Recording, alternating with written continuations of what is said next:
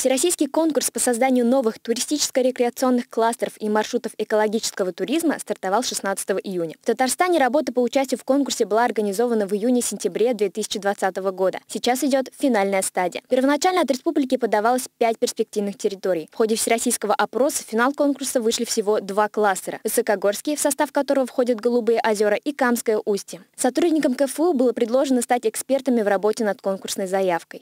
С коллегами я участвовала уже в воркшопах, в рабочих группах по обсуждению деталей, обсуждению мастер-планов, сценариев развития, экологических ограничений.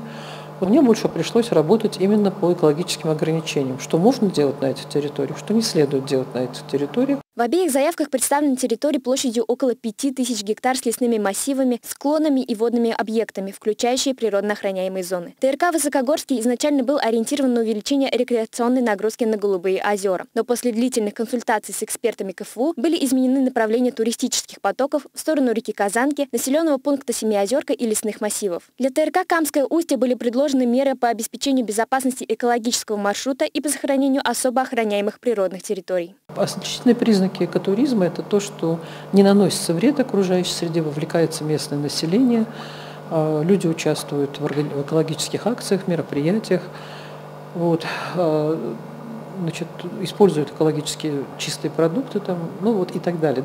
Сотрудники КФУ, работая в качестве экспертов, участвовали в поднятии рейтинга и имиджа университета как экспертно-аналитической организации, а также создавали новые возможности территориального развития в Татарстане. В случае победы в конкурсе возможно заключение договоров по развитию туристических кластеров и практических баз для студентов КФУ. Алия Гарипова, Альмира Зиадинова, Универньюз.